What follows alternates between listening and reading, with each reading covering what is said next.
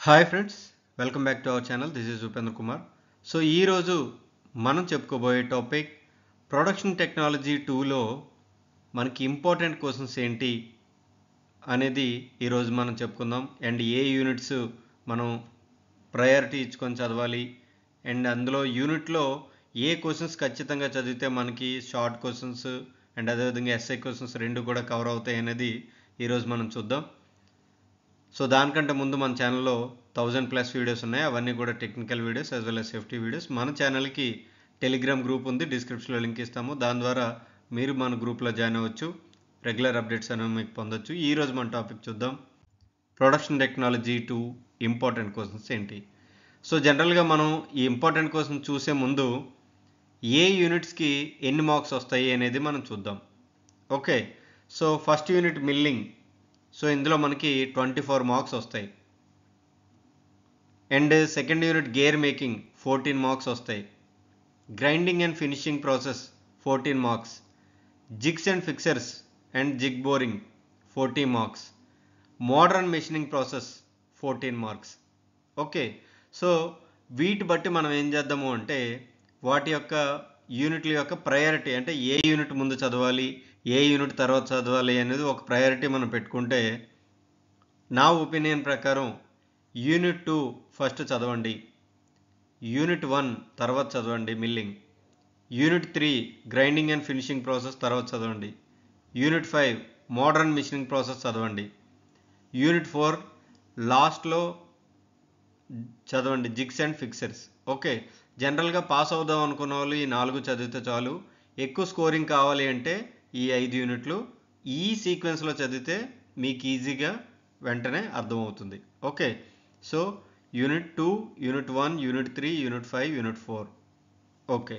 ఇప్పుడు ఏ యూనిట్లో ఏమేమి చదవాలి? ఇవి డ్యామ్ షూర్ క్వశ్చన్స్ అనమాట ఈ యూనిట్లోంచి ఖచ్చితంగా వచ్చే క్వశ్చన్స్. ఓకే. సో గేర్ మేకింగ్లో ఏంటి అంటే మనం ఈ గేర్స్ని ఎలా ప్రొడక్షన్ చేస్తామో ఆ మెథడ్స్ ఏంటి? నేను చెప్పి ఈ క్వశ్చన్స్ ఇవి ఎస్ఐని కవర్ చేస్తాయి ఎస్ఐ క్వశ్చన్స్ కవర్ చేస్తాయి as well as short answers కూడా కవర్ చేస్తాయి. Okay list out four methods of production gears ఏవేవి మెథడ్స్ మనం గేర్స్ తయారు చేస్తాము? Explain the gear shaping gear shaping అంటే ఏంటి?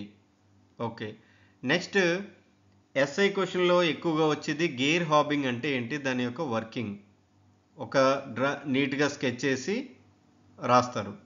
సో ఇదే operation of gear hobbing explain gear finishing processes gear ఫినిషింగ్లో కొన్ని ప్రాసెస్లు ఉంటాయి. అవన్నీ కూడా ఎక్స్ప్లెయిన్ చేయాలి. నెక్స్ట్ షార్ట్ ఆన్సర్స్లో ఎక్కువగా వచ్చేది గేర్ యొక్క స్పెసిఫికేషన్ ఎలా చేస్తారు? ఓకే అండ్ గేర్ మెటీరియల్స్ యొక్క డిఫరెంట్ డిఫరెంట్ గేర్ మెటీరియల్స్ ఏవి ఉంటాయి? అండ్ ఇంకొక త్రీ మార్క్స్ ఏంటి అంటే త్రీ డిఫరెంట్ హీట్ ట్రీట్మెంట్ ప్రాసెస్ని చెప్పాలి. సో మనకి ఇందులో ఎస్ఐ క్వశ్చన్స్ గేర్ హాబింగ్ గురించి అండ్ ఈ short answers specification of gear and gear materials గురించి అండ్ ఇక్కడ SI క్వశ్చన్స్లో four methods of gear production okay so వీటి గురించి చదువుకుంటే మనకి యూనిట్ టూ అనేది కవర్ అవుతుంది. మీరు ఈ టాపిక్స్ అన్నీ కూడా చదివినట్లయితే అటు షార్ట్ ఆన్సర్స్ ఎస్ఐ క్వశ్చన్స్ రెండు కూడా కవర్ అవుతాయి.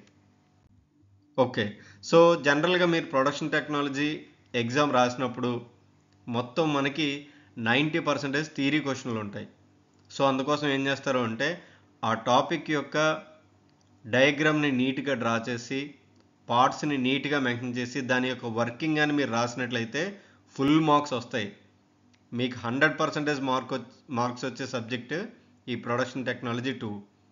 సో దానికి ఏంటి అంటే ఫస్ట్ ఆఫ్ ఆల్ మనం డయాగ్రామ్ బాగా గుర్తుంచుకోవాలి. దాని కాంపోనెంట్స్ బాగుండాలి. అండ్ వర్కింగ్ అనేది నీట్గా మనం దాన్ని వన్స్ అండర్స్టాండ్ చేసుకుంటే వర్కింగ్ మీ ఓన్ వర్డ్స్లో రాయొచ్చు. ఎగ్జాక్ట్గా టెక్స్ట్ బుక్లో ఉన్నదే రాయాలని లేదు.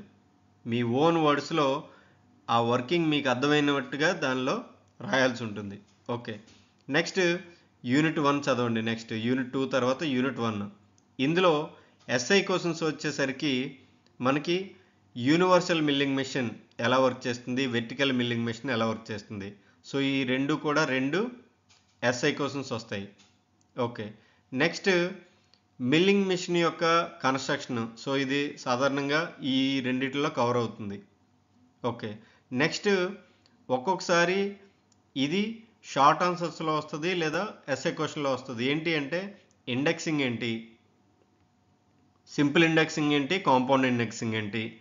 డిఫరెన్షియల్ ఇండెక్సింగ్ ఏంటి? ఈ మూడు కలిపితే ఒక ఎస్ఐ క్వశ్చన్ అవుతుంది లేదా ఇండివిజువల్గా మనకి త్రీ త్రీ మార్క్స్కి ఇవ్వడం జరుగుతుంది. ఓకే సో నెక్స్ట్ ఇది త్రీ మార్క్స్కి వస్తుంది. Nomenclature of milling cutter milling cutter యొక్క టీత్ ఏదైతే ఉందో దాని యొక్క నామిన్ క్లేచర్ మనం ఎలా చెప్తాము? నెక్స్ట్ ఈ మిల్లింగ్ యొక్క tool holding and work holding devices ఏంటి? ఇది కూడా చాలా వరకు త్రీ మార్క్స్ వస్తాయి. సో అన్ని అన్నీ రాయమని అడిగితే మనకి ఎయిట్ మార్క్స్ కూడా వస్తాయి. Next different indexing methods. So మనం ఇందాక చెప్పుకున్నాం కదా so indexing methods different different types ఏవి అనేవి త్రీ మార్క్స్కి వస్తాయి. Explain the specification of milling machine so ఇది కూడా త్రీ మార్క్స్కి వస్తుంది. సో మనకి ఈ యూనిట్లో చూసుకున్నట్లయితే స్ట్రైట్ అవే మనకు వచ్చేది ఏంటి అంటే universal milling machine vertical milling machine okay indexing so ఈ మూడు కూడా మనకి డైరెక్ట్గా వచ్చే ఎస్ఐ క్వశ్చన్స్ సో మిగతావన్నీ కూడా షార్ట్ ఆన్సర్స్లో వస్తాయి. ఓకే. నెక్స్ట్ సో ఇప్పుడు నేను ఏవైతే టాపిక్స్ చెప్తున్నానో గ్రైండింగ్ కానీ గురించి కానీ గేర్ మేకింగ్ కానీ మిల్లింగ్ కానీ ఈ ప్రొడక్షన్ టెక్నాలజీ మొత్తం అన్ని టాపిక్స్ కూడా మన ఛానల్లో ఉన్నాయి. డిస్క్రిప్షన్లో లింక్ ఇస్తాము. ప్లేలిస్ట్ లింకు సో మీరు దాని ద్వారా అన్ని టాపిక్స్ మీరు చూడొచ్చు. ఓకే. నెక్స్ట్ యూనిట్ త్రూ చదవండి. యూనిట్ త్రీ ఏంటి అంటే grinding and finishing process. So ఇవేంటి అంటే grinding topics and finishing process రెండూ కలిపి అందులో ఉంటాయి. ఫస్ట్ ఆఫ్ ఆల్ గ్రైండింగ్ అంటే ఏంటి? దాని తర్వాత సిలిండ్రికల్ గ్రైండింగ్ అంటే ఏంటి? సెంట్రలెస్ గ్రైండింగ్ అంటే ఏంటి? ఇవి చాలా చాలా ఈజీ టాపిక్స్. మీరు ఒకసారి ఆ టాపిక్ చూస్తే ఈజీగా అర్థమవుతుంది. సో చాలామంది ఎక్కడ ఆగిపోతారు అంటే దాని యొక్క అడ్వాంటేజ్ తెలీదు డిసడ్వాంటేజ్ తెలీదు అలాంటి దగ్గర మీరు ఆగిపోతూ ఉంటారు. అది వద్దు. సో మీకు suppose what is grinding and write advantages and disadvantages అంటే మీరు ఏం చేస్తారు అంటే గ్రైండింగ్ గురించి నీట్గా డయాగ్రామ్ వేసి దాని యొక్క వర్కింగ్ రాయండి. అడ్వాంటేజెస్ డిసడ్వాంటేజెస్ మీకు గుర్తొస్తే రాయండి లేకపోతే లేదు. కానీ ఆ గ్రైండింగ్ గురించి రాయడం వల్ల మీకు కొన్ని మార్క్స్ వస్తాయి. Okay so what is grinding తెలుసు.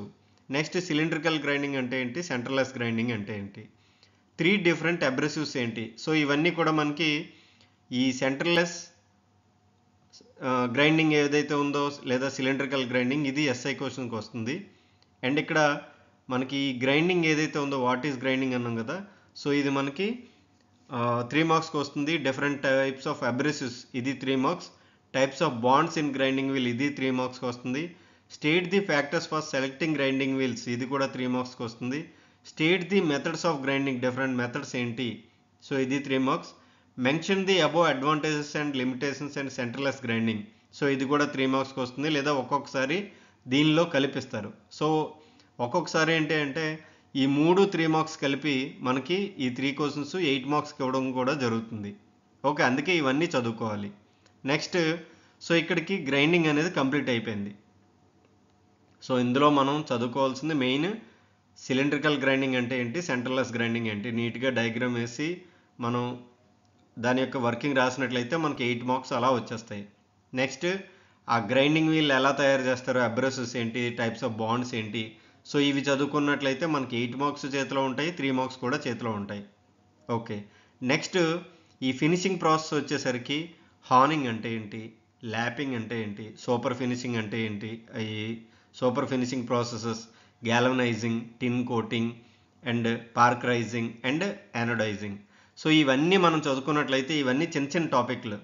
ఇవన్నీ మనం చదువుకున్నట్లయితే మనకు ఒక ఎయిట్ మార్క్స్ క్వశ్చన్ చేతిలో ఉంటుంది లేదా ఇండివిజువల్గా ఈ మూడు కలిపి త్రీ మార్క్స్కి ఇవ్వచ్చు ఈ మూడు కలిపి త్రీ మార్క్స్కి ఇవ్వచ్చు. ఓకే సో ఇది జస్ట్ మీకు హార్నింగ్ అంటే ఏంటి? ఒకసారి మీరు చూడండి మన ఆల్రెడీ వీడియో ఉంది ఒకసారి చూస్తే మీకు తెలుస్తుంది. నెక్స్ట్ ఒక్కొక్కసారి ఇవన్నీ మిస్ అయినప్పుడు ఇది ఇస్తూ ఉంటాడు. ఎయిట్ మార్క్స్ క్వశ్చన్కి అదేంటంటే the principle of electroplating with a neat sketch. So electroplating అంటే ఏంటి? సో దీని గురించి మనం చదువుకుంటే సరిపోతుంది. సో యూనిట్ త్రీ నుంచి మనం మెయిన్గా గ్రైండింగ్ చదువుకోవాలి. దాని తర్వాత ఈ ఫినిషింగ్ ప్రాసెస్ చదువుకుంటే సరిపోతుంది. ఓకే. నేను చెప్పి అన్నీ కూడా డ్యామ్ షూర్ క్వశ్చన్స్. సో ఒకసారి నీట్గా చదువుకోండి. ఓకే. సో మోడర్న్ మెషినింగ్ ప్రాసెస్లో మనకి చాలా చాలా ఈజీ టాపిక్స్ ఇవన్నీ కూడా. ఎందుకు అంటే ఒక్కొక్కసారి డైరెక్ట్గా వచ్చే క్వశ్చన్స్ ఉంటాయి అవి నేను చెప్తాను ఇప్పుడు.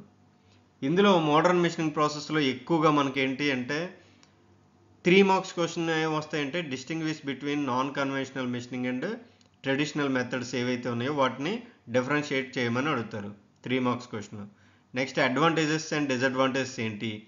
ఈ స్టేట్ది రెండిట్లకి కన్వెన్షనల్కి non కన్వెన్షనల్కి next explain the principle of ultrasonic working machine so ఇది ఇందులో కవర్ అవుతుంది. ఇవన్నీ కూడా మనకి ఏంటి త్రీ మార్క్స్ క్వశ్చన్లో వస్తాయి.